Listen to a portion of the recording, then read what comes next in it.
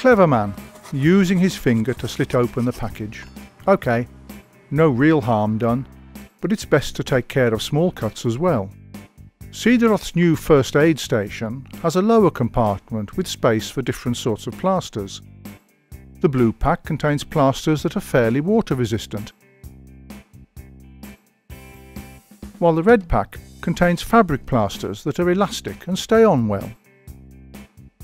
If you work in the food industry, then there's the blue detectable, a plaster containing a metallic indicator, allowing you to find a missing plaster using a metal detector. As the plaster's blue, it's easily visible. New to the Cederroth collection is a soft plaster in beige or blue.